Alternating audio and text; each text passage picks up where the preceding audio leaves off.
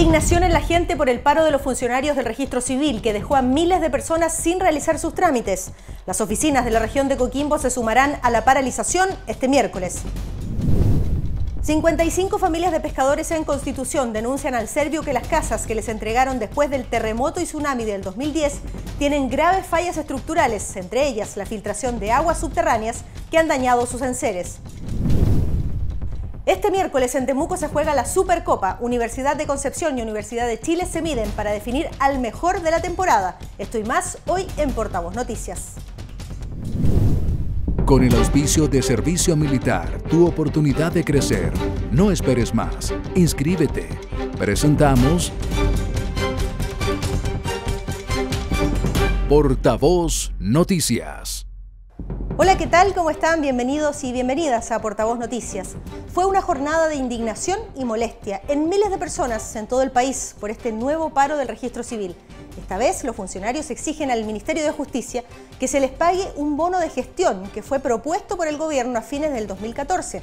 Las oficinas de Coquimbo fueron las únicas que abrieron sus puertas, pero este miércoles también se van a sumar al paro nacional. Ailín Pardo con este informe. Nuevamente las oficinas del registro civil de todo el país están en paro. A las 8 de la mañana de este martes comenzó la movilización que busca mejoras salariales para los funcionarios y el pago de un bono que ya estaba comprometido desde antes, según ellos, por el Ministerio de Justicia. El paro se debe a lo que han llamado el quiebre de la mesa de negociaciones con la Dirección de Presupuestos respecto a las demandas que vienen solicitando hace varios meses. La presidenta de la Asociación Nacional de Funcionarios, Nelly Díaz, aseguró que el paro va a continuar, pero no detalló respecto al monto que están solicitando. La, Asamblea resolvió seguir en paro indefinido. y yo llamo a la ministra, en vez de estar entregando declaraciones de amonestaciones y de que a los funcionarios le va a dar las penas del infierno, la llama que se ponga la capa de superheroína y venga, venga a defender este servicio que harto luche que le da al, gobierno y, a, y, a todo, y a, todo, a todos los servicios públicos. Por otra parte, la directora del registro civil, Teresa Alanis, aclaró que no existe un quiebre con los funcionarios, sino más bien una suspensión del diálogo y recordó parte de los trámites que se pueden realizar por Internet. Eh, nosotros en primer lugar hemos reforzado lo que es nuestro call center 600 370 donde se puede obtener certificado de nacimiento, matrimonio de función en la página web www.registrocivil.gov.cl se pueden obtener todos los certificados que están disponibles en una oficina. Y sin duda lo más importante es la firma eh, del decreto que prorroga la vigencia de la cédula de identidad hasta el 31 de diciembre. Respecto a la atención que están recibiendo los habitantes de Coquimbo, la presidenta de la Asociación Nacional de Funcionarios aseguró que por ahora seguirán atendiendo a los damnificados. Tenemos 16 oficinas que no atienden, pero son 16 oficinas que tenemos junto a Jena, que no son funcionarios, que son la Antártida, Puerto, Puerto Edén. Las únicas oficinas que están funcionando con funcionarios es con Barbalá y Atención Terreno en Coquimbo. Pero mañana esas dos oficinas se pliegan al paro. Durante la jornada se han realizado turnos éticos para atender casos especiales o de urgencia. De no ser así, la recomendación desde el registro civil fue postergar los trámites, hecho que ha causado el enojo y la rabia de los usuarios. Parece que le fue mal con las monedas. Pero la situación se agrava debido a que a partir de este jueves el pasaporte tendrá un alza si hoy el documento de 32 páginas cuesta 48.900 pesos, desde el 1 de octubre costará 89.660 pesos. Varios hicieron este trámite y otros no han alcanzado. Pésima, porque antaño yo me acuerdo más o menos unos 15 años atrás, el pasaporte no valía más de 30.000, por ejemplo y ahora está costando casi 50 y ahora el doble, entonces es demasiado, se resiente el bolsillo con ese tipo de cobro. Tenemos, vamos, saliendo el domingo y eh, es imperativo tenerlo, si no, no viajaríamos tres nomás. Entonces estoy aquí con las manos atadas. Ahora, si yo cambio el pasaje, que puedo hacerlo, me significan 200 dólares más que ellos no me lo van a dar. Los funcionarios continuarán con el paro indefinido hasta tener una respuesta clara desde el Ministerio de Justicia y no descartan realizar una marcha a nivel nacional a partir de este miércoles. En Concepción y conociendo la noticia del paro nacional, algunos usuarios optaron por esperar en las puertas de las oficinas del registro civil hasta que fueron atendidos gracias a los turnos éticos. Pero hubo otros que no tuvieron la misma suerte. TVU, Universidad de Concepción, con esta nota. Puertas cerradas, prácticamente nadie en el interior. Recordará usted que hace poco más de un mes habían realizado una advertencia de 24 horas. Al final no hubo solución y la jornada comenzó así. Varios usuarios haciendo fila a ver si los atendían, aunque eso sí fue posible. Los turnos éticos ayudaron a que muchas de las personas pudieran hacer sus trámites, aunque esperando más de la cuenta. Si están, digamos, pidiendo lo que les corresponde, me parece. Lo, importante es que no entorpezcan, digamos, las actividades de todas las personas. pero el derecho es de ellos y tienen que hacerlo. No es que esté en contra del paro, absolutamente. Es lamentable que los trabajadores tengamos que llegar a esta instancia de movilización para que se nos dé lo que nos corresponde. Sin mucha bulla, más que nada advertencias, comenzó una nueva paralización, esta vez de carácter indefinido por parte de los trabajadores del registro civil. Las demandas son tres puntos fundamentales, los que estaban siendo negociados pero que en definitiva no llegaron a buen puerto debido a que la mesa se quebró la mesa está absolutamente quebrada. No hay ningún tipo de negociación con, el gobierno, ninguno. De esos tres puntos, eh, dos puntos se cayeron, que fue el bono especial al, oficial civil, la carrera funcionaria y eh, solamente quedó el bono registral. Eso es lo que estamos pidiendo específicamente. Mientras tanto, nosotros vamos a trabajar con turnos éticos, implica eh, inscripción de defunciones, los nacimientos de, niños que nacen enfermos también se pueden inscribir, los certificados antecedentes para trabajo. Una adhesión del 99%, solo dos oficinas no se sumaron a la paralización, 278 trabajadores movilizados en la región del Biobío y una problemática que por ahora se ve sin solución. En 2013 fueron 18 días hábiles los que estuvieron sin trabajar, incluso en aquella oportunidad se tuvieron que habilitar otras oficinas. Por ahora no se tiene claro los pasos a seguir. De momento la solución parece lejana. Pero la DIPRE estimó eh, que no podían seguir negociando mientras también estuvieran negociando con el resto del, sector público a través de la NEF el, reajuste que se negocia anualmente y, en virtud de eso suspendió la mesa en lo que el gremio estima que es un cierre de la mesa y un quiebre pero para efectos eh, prácticos y reales lo que está en la mesa suspendida mientras se negocia el aumento del sector público para todo. A través de la página web registrocivil.cl se pueden realizar algunos de los trámites, mientras que los turnos éticos continuarán de momento, por lo que se pueden sacar algunos documentos en las oficinas en todo el país. Eso sí, debe armarse de paciencia, pues por ratos la fila es larga.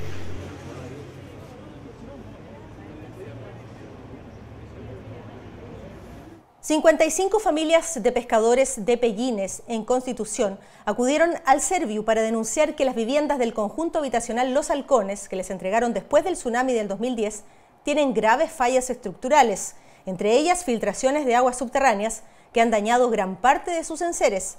La nota es de Contivisión. Cuando se cumplían tres años del tsunami en Pellines, 55 familias damnificadas recibían las llaves de su casa propia. La alegría de estas familias era evidente. Atrás quedaba la aldea que los cobijó por 36 duros meses. Espera compensada por viviendas dignas para estas familias compuestas principalmente por pescadores. No, así no se puede vivir realmente.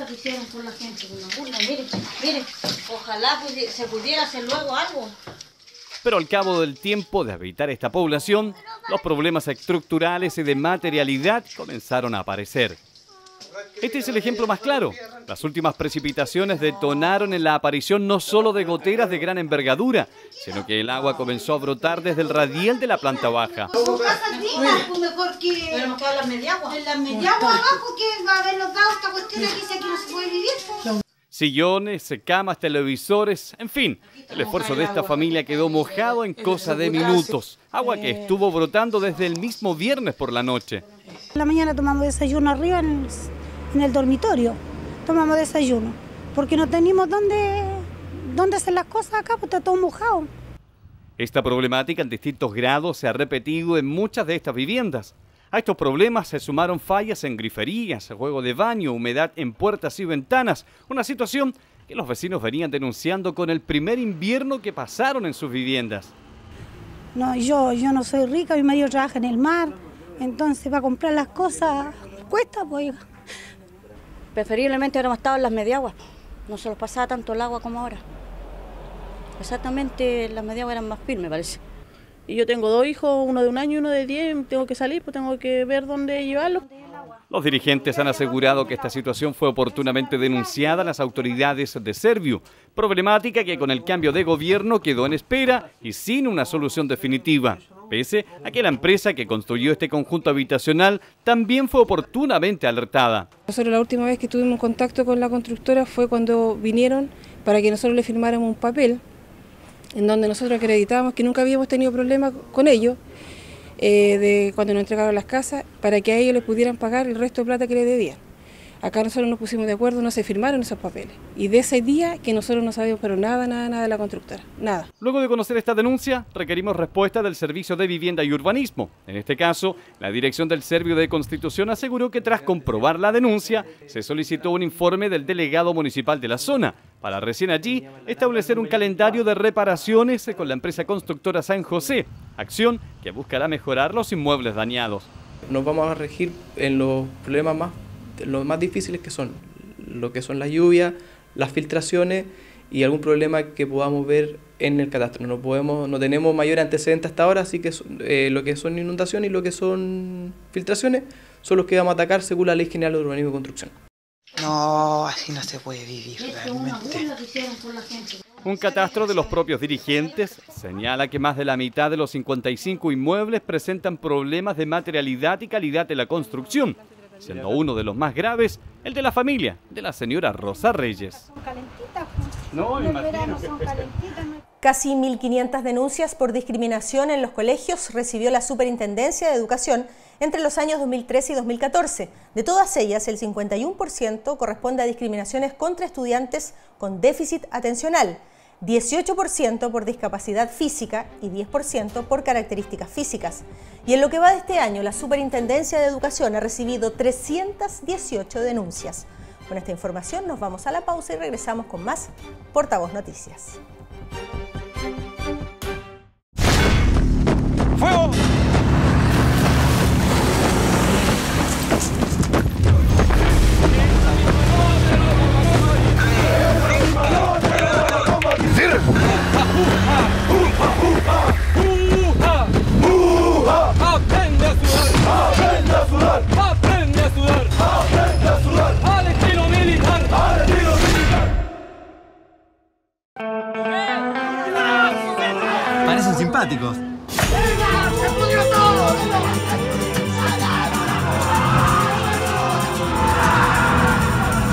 Luces, desde octubre, solo en cines.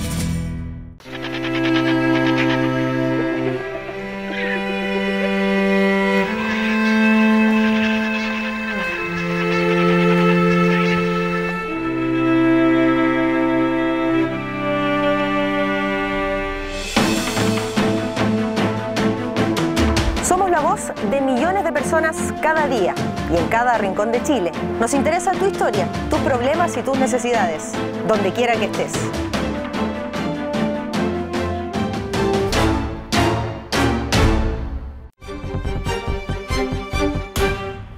Más de 6 mil millones de pesos debe la Intendencia de la Araucanía a las empresas que le arrendaron camiones aljibes y aviones privados para combatir los incendios del verano pasado. La denuncia fue hecha por el consejero regional Henry Leal. La nota es de Universidad Autónoma Televisión. El verano más seco en los últimos 50 años causó estragos y más de una complicación en la Araucanía. Incendios forestales que destruyeron más de 6.600 hectáreas de bosque, incendios intencionales en siembras que se extendieron a viviendas sin control, además de los requerimientos de agua de sectores rurales abastecidos por camiones aljibes. Demasiadas demandas juntas de agua, lo que obligó al gobierno regional a contratar aviones privados para apoyar el combate de incendios y camiones aljibes para además abastecer a los sectores rurales. Más de 6.500 millones de pesos suman los servicios, los que a la fecha no han sido cancelados, según la denuncia del consejero Henry Leal.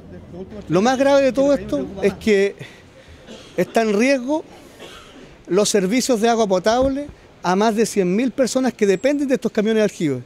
Y ustedes comprenderán que si no se le paga durante tres meses a quien tiene uno o dos camiones, que tienen que pagar choferes, combustibles, mantención y muchos otros, se le hace prácticamente imposible seguir cumpliendo con este servicio. La verdad es que me parece increíble lo que está pasando. La gente que viene a la región y que trabaja en esto porque necesita también, hizo un trabajo bastante duro durante el verano y si ahora no le pagan, se imagina otra emergencia, ¿quién va a venir? No van a venir simplemente. O sea, no es el perjuicio solamente a la empresa, le están haciendo un tremendo daño al patrimonio eh, natural de la, de la Araucanía que son nuestros árboles. ¿no? Serían alrededor de 250 camiones que prestaron servicios y que no han sido remunerados. En total 200 pequeños empresarios a quienes se les adeuda en los últimos tres meses 1.500 millones de pesos. Según la primera autoridad regional será durante este mes cuando se finiquite lo adeudado a los privados, tema pendiente que asumió, dijo, de la administración anterior. Es de 7 mil millones. Señor Leal tiene que informarse. Y efectivamente es así. Desde el verano, yo asumí hace un mes y yo estoy pagando. Estamos pagando en este momento, hemos pagado eh, desde el 18 de septiembre, de antes del 18 de septiembre, estamos pagando hoy día esa deuda. Están llegando los recursos del Ministerio Interior. Yo, eh, yo no sé por qué se retrasó esto. Pues yo, yo asumí hace un mes y por tanto desde que asumí este es uno de los temas, de los cientos de temas que hemos estado tratando. Usted... Según el consejero regional, durante el mes de marzo se habrían traspasado desde el Consejo 5 mil millones de pesos al Ministerio del Interior para el pago de servicios de emergencia, lo cual no habría sido destinado para saldar lo pendiente. Vamos al norte del país, en la región de Atacama, el Ministerio de Economía invirtió 150 millones de pesos para entregar equipamiento a pequeños y medianos productores mineros. El programa busca mejorar las condiciones en que laboran los trabajadores en la extracción y transporte de minerales. Holbet Televisión con la nota. Con una inversión que supera los 150 millones de pesos, el Ministerio de Minería materializó la entrega de equipamientos a pequeños productores, tanto de asociaciones como de sindicatos de la región de Atacama, a través del programa PAMA Emergencia 2015. En una ceremonia realizada en la explanada del edificio del gobierno regional, las autoridades realizaron la entrega de diversos equipos mineros de primera necesidad para el desarrollo de dicha actividad productiva. Con esto se logra brindar un apoyo indispensable para quienes operan muchas veces en condiciones mínimas, ya sea para extraer el mineral o transportarlo, y así poder generar un nuevo ingreso para el sustento diario. Yo creo que esto es la culminación de una etapa, de tantas que nosotros tenemos como, como ministerio, de poder entregar este equipamiento para mejorar, digamos, la actividad de la pequeña minería que hoy día realmente lo necesita. Nosotros es un compromiso del gobierno, del Ministerio de Minería, en seguir apoyando esta actividad que es tan importante para la región. Hoy día son ellos más dueños de su propio destino y lo que uno busca, por cierto, en esta situación de reconstrucción de nuestra, de nuestra región es precisamente darle un mayor protagonismo ¿no? a los trabajadores, al sentido de la asociatividad que tiene el hecho que son las asociaciones y los sindicatos los que son precursores de estos proyectos y donde el gobierno a través de distintos instrumentos ha resuelto ¿no? entregarle este apoyo tan necesario para la reactivación de su actividad como también de la economía de nuestra región. En la oportunidad se exhibieron los ocho equipamientos mineros que serán distribuidos a las asociaciones gremiales de Diego de Almagro, Inca de Oro, Mineros Artesanales Collas, Caldera, Copiapó y el Donkey en Vallenar, además de los sindicatos de trabajadores independientes pirquineros de San Félix y El Corral, ambos de la comuna de Alto del Carmen. El equipamiento corresponde a cuatro mini cargadores, tres camiones tres cuartos y un generador eléctrico. Es mejorar nuestra calidad de vida, es sacarle provecho al, a lo que nosotros los hemos forzado tanto que era cuanto se llama muy difícil eh, seguir trabajando debido a que teníamos que cruzar toda la región para ir a procesar a Coquimbo. Entonces el costo es sumamente caro. Y con esto nos abarata y nos permite procesar minerales de menos ley y los hacer rentables. Así que ahí vamos a tener una fuente laboral para nosotros y nuestros amigos que se estaban yendo del sector por falta también de oportunidades de trabajo. El PAMA es un programa del Ministerio de Minería que beneficia de forma directa tanto a los pequeños productores como a los mineros artesanales del país y de la región. A la fecha, el número de beneficiados en Atacama supera los 1.356 pequeños mineros y pirquineros de la zona. En Temuco se realizó un ensayo masivo de la PSU. Estudiantes de todas las edades pusieron a prueba sus conocimientos y entre ellos estuvo Enolfa Ampuero, de 75 años, que rindió los ensayos de lenguaje y matemática. Universidad Autónoma de Televisión nos cuenta. Porque es un desafío que me puse yo misma de, de terminar mi enseñanza media. Y si no doy la PSU es como que no he terminado. Ella es Enol Fampuero, tiene 75 años y llegó hasta la Universidad Autónoma de Temuco para rendir un ensayo de PSU que organizaba la Casa de Estudios para todos los estudiantes de la Araucanía. Ella se encuentra realizando su cuarto medio, al igual que el centenar de estudiantes que asistieron a esta jornada. Vine para tener más experiencia en los ensayos, acostumbrarme a, a los tiempos de la prueba y comenzar a, más que nada, acostumbrarse y ver las preguntas, los tipos de preguntas. Tener buenos resultados, quedar en lo que quiero, donde quiero y eso, no, no preocuparse tanto si es una prueba, porque si uno se pone nervioso es peor. Las pruebas de ensayo era de matemática y lenguaje, pruebas que se comenzaron a rendir desde las 9 hasta las 14.30 horas de este sábado. Fueron horas de concentración, pero también de ayuda, ya que para el break de los futuros universitarios, la Autónoma organizó una expo de carreras para que los asistentes pudieran ver la oferta educativa para el próximo año. Realmente nos hemos preocupado de un ensayo propiamente tal desde el punto de vista de la metodología, del desafío en que ellos se van a encontrar, sino que también lo hemos compartido con eh, la presentación que estamos haciendo, lo que son nuestras carreras, cuáles son las becas, eh, las diferentes facilidades que les damos, lo que significa tener una experiencia universitaria para jóvenes que vienen saliendo de la enseñanza media. Los resultados del ensayo que rindieron los estudiantes este sábado serán dados a conocer en cinco días hábiles más. Para conocer el puntaje, los estudiantes deben ingresar al sitio web www.uautonoma.cl, portal donde estarán los puntajes obtenidos en este ensayo de PCU. Octubre es el mes de la campaña internacional contra el cáncer de mama. La clínica Bupa de Antofagasta va a realizar cuatro charlas informativas sobre esta enfermedad, que es la principal causa de muerte por cáncer en mujeres en nuestro país. Y también se va a entregar información sobre otros tipos de cáncer. Las charlas se van a dictar los días 9, 16, 23 y 29 de octubre entre las 19 y 20 horas y serán totalmente gratuitas. Las inscripciones están abiertas en el correo periodista.bupa.cl. Con esta información nos vamos a una pausa y volvemos con más Portavoz Noticias.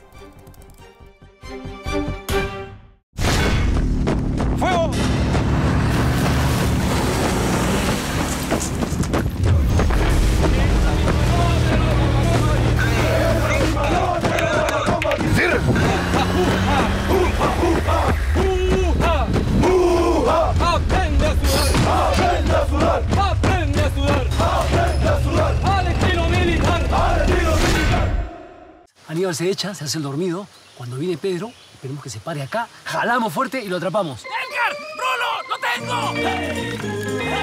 ¡Lo tengo! ¡Lo tengo! ¡Ah! Luces, desde octubre, solo en cines.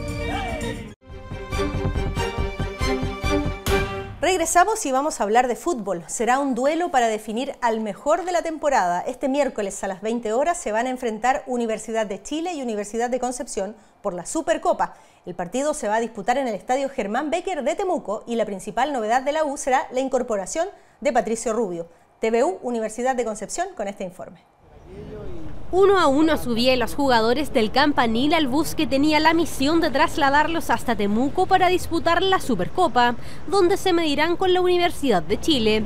El ánimo y la confianza están instalados al interior del plantel, luego del triunfo de este fin de semana por 4 a 2 sobre Unión Española, por lo que la UDECON se espera regresar con un nuevo trofeo. Sí, sí, por supuesto, tenemos las expectativas de poder hacer un buen partido, de, de tratar de, de, jugar como corresponde con, contra un equipo grande como la U, que no podemos dar margen de error, tenemos que aprovechar la, las oportunidades de gol que tengamos y a través de eso poder eh, quedarnos con, con, un nuevo trofeo para la institución, así que con, con la ilusión que corresponde, desde lo físico y lo futbolístico también eh, en un buen momento. Eso sí, los jugadores no menosprecian al rival, conocen muy bien las potencialidades de Universidad de Chile, por lo que la concentración será clave para alzar la copa. Independiente de que la U pueda venir mal o bien, son, son jugadores de jerarquía, jugadores que marcan diferencia. Y en estos momentos se, ellos, ellos aparecen, así que nosotros tenemos que estar más que concentrados para lograr un resultado positivo. El fin de semana nos fue bastante bien en Santiago, si bien es cierto nos da un plus anímico eh, bastante bueno para, para, el partido que debemos enfrentar mañana. Es una final, eh, se tiene que, que jugar de tal manera, esperemos que obviamente nos vaya bien. El estadio Germán Becker será el escenario de la Supercopa, final que mide al ganador del torneo de apertura y al de la Copa Chile, donde son precisamente estos últimos quienes quieren consagrarse como los mejores. Es, una final, es un partido importante ante, ante un rival eh, de lo más grande de Chile. Eh, vamos con muchas ilusiones, con muchas ganas de poder conseguir algo importante para, para la Universidad de Concepción, de tratar de, quedar en la historia del club. Eh, así que, que, nada, vamos con, con mucha motivación, muchas ilusiones de poder ganar la Copa. Este miércoles saltan a la cancha los elencos que dan vida a una nueva versión de la Supercopa del fútbol chileno. La cita es a las 20 horas en el Estadio Germán Becker de Temuco. En el Maule, estudiantes de colegios municipales y subvencionados podrán acceder a clases de inglés gratuitas a través del programa Liceo Virtual creado por la Universidad de Talca con sede en Linares. El manejo del idioma inglés será de enorme importancia en el desarrollo laboral de estos jóvenes. Rodolfo Cabello de TV5 Linares con esta nota. La Universidad de Talca Campus Linares, a través de la Facultad de Ciencias de la Educación, presentó el programa de inglés Liceo Virtual y el programa de prácticas de la escuela. La incorporación de los estudiantes al mundo laboral en forma muy precoz, porque es una forma en que en el hacer ellos pueden ir eh, ratificando su vocación y pudiendo contextualizar y valorando los aprendizajes del aula a lo que va a ser el desempeño profesional y ese va a ser el sello que va a distinguir las dos carreras de pedagogía que tenemos para el año 2016 y las que podamos ofrecer en un futuro mediano. El 70% de los contenidos serios de la web está en inglés, por lo que manejar este idioma como segunda lengua es muy importante. Es una carrera innovadora en el sentido que es un, programa de inmersión. Quiere decir, un 90% del, uh, de los módulos que se ofrecen a los estudiantes se dictan en inglés. Estudian uh, tanto contenidos culturales, um, contenidos acerca de la globalización, uh, contenidos metodológicos de gestión escolar, todo, casi todo en inglés. Y esto es fundamental para que salgan después uh, uh, como egresados con un nivel C1 que requieren los estándares uh, nacionales. Para ser competitivo, además, es indispensable dominar las tecnologías y la Universidad de Talca ahora lanzó su liceo virtual que incluye el aprendizaje de inglés para alumnos de colegios municipales o subvencionados de la región del Maule estamos abriendo oportunidades de comunicación, de conocimientos a los estudiantes que de otra manera no los tendrían. Eh, a pesar que en Chile existe o debería existir una especie de inglés latente por las canciones, por el, uso cotidiano del idioma y de algunas palabras inglesas, pero no basta con eso. O sea, inglés no es eh, saber this is the window o, this is the door. Es mucho más que eso. Y la plataforma de inglés eh, construida en conjunto con el Instituto de Idiomas, es la que permite que los estudiantes del liceo virtual y aquellos que quieran incorporarse a la plataforma de apoyo al liceo virtual puedan acceder a materiales de muy buena calidad. La llegada a Linares de la Universidad de Talca marca nuevas oportunidades para los alumnos de Linares y el Maule Sur. Ya llevamos un tiempo no menor, un año, ocho meses viviendo en esta ciudad y como lo señala Raúl, hemos comenzado a mostrar algunas actividades diferentes, algunas actividades innovadoras, como es el caso de la puesta en marcha del el inglés en la plataforma Liceo Virtual. La Universidad de Talca está realizando un trabajo de apoyo con los colegios serinares, entre ellos el Liceo Politécnico y Liceo Bicentenario Valentín Letelier. En Caldera celebraron su cumpleaños número 165 con una corrida familiar. Los valientes deportistas aguantaron las bajas temperaturas de la noche en la corrida Copa Aniversario para recorrer 2, 5 y hasta 10 kilómetros. La nota es de Holbert Televisión. Como parte de las actividades de aniversario 165 de la comuna, desde el frontis de la Gobernación Marítima de Caldera se dio inicio a la corrida Copa Aniversario, donde todos los competidores, además de capear el circuito, tuvieron que desafiar al frío reinante en la noche calderina. Esta corrida familiar fue organizada por el Departamento de Deportes del municipio y apoyada por la Armada de Chile y el CEFAM Caldera. Como una forma de integrar a toda la familia, se realizaron tres circuitos que recorrieron las diversas calles del puerto, una de 2,5 kilómetros para niños y categoría infantil, de 5 y 10 kilómetros para categoría juvenil, adultos, senior, damas y varones. Bueno, muy contento por la invitación, eh, agradecerle y feliz porque tuve una lesión y me he estado recuperando el 100% y demostré que siempre estamos acá eh, compitiendo con las invitaciones de ustedes y, contento por llevarme un triunfo y también gracias a la empresa por la que nos da el apoyo a nosotros, Bucobre. Ellos son los que nos mandan y para llegar acá a estas carreras que nos invitan ustedes es importante. Muy contento voy a ir con este triunfo de Caldera. La competencia largó por la avenida Woolright, avenida Prat, Canal Beagle, Batallón de Atacama, Vicuña, Diego de Almeida, Cousiño y nuevamente a la avenida Woolright. La actividad fue de carácter familiar y tuvo bastante éxito a pesar del frío reinante en la noche, donde llegaron niñas, niños, jóvenes, adultos y adultos mayores, equipados con lámparas para orientarse en la noche calderina. Tuvimos un poquito eh, participantes, pero la, idea igual salió la carrera.